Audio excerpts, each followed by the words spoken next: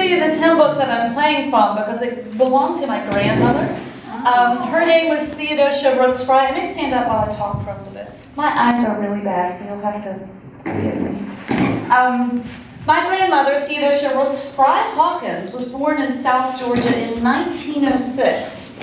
If you do a little math in your head and look at me and calculate that, um, you may find that that's surprising and becomes increasingly so as I tell you a little bit about her story. She was a school teacher, like I am, who found love a little later in life, and she married a much older man in the year 1942. My grandfather was Edgar Allen Fry, and he was born in Smyth County, Virginia. He was born in 1874. My grandfather, 100 years before I was born. And it was by a sliver of a chance that a man who had buried one wife and an infant daughter in Virginia soil would find his way to Georgia and would father two sons in his quite old age. His firstborn son was John Blair Fry, my father. The home that they built together was filled with singing, much of it around an old upright piano with a hymn book on it. Now this was not the hymn book that they would have used um, mostly.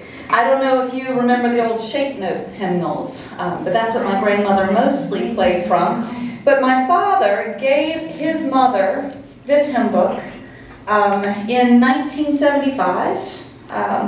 And then they returned it to my family to give it to my son, who played the piano at the time, and they passed it along. So she would have played from it. I can see her notes in it throughout in some places. so my daddy sings bass. After he returned from a year in Vietnam and finished a master's degree at Georgia Tech engineering, he moved to Macon, Georgia and joined the choir at Vineville Baptist Church. He saw my mother, another school teacher, sitting in the alto section. They first started talking at a choir Christmas party, and they fell in love singing together on the front porch. Daddy playing guitar, and Mama singing and harmonizing along with him. Glen Campbell was a favorite of theirs. I literally owe my life to church music. I've heard the hymns of faith from the womb. It wouldn't take long for me to start singing them too. This is my story. This is my song, sung with four-part gusto, was how Sunday night church began at Vineville Baptist Church, just about every week. As a child and teenager growing up at that church, I sang on Sunday mornings, Sunday evenings, and pretty much all day Wednesday.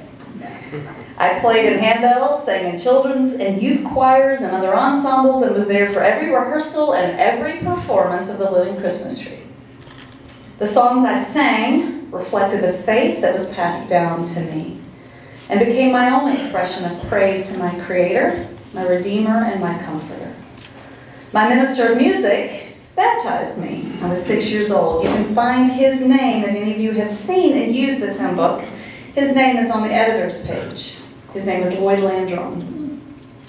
So I can still name the hymn numbers of most of the hymns. Not, that's not true. Of many of the hymns in here. I don't know if you could do that.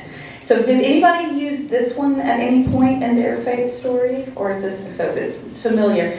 I have another one that I'm going to have to switch to in a minute. But I can still name some of them. One of them is um, 475, a favorite. Anybody have a guess what 475 in the old hymn book is? I know Randy knows because he has those memorized too. He grew up in the same book and had to switch like I did. 475, Victory in Jesus. Let's sing that one together.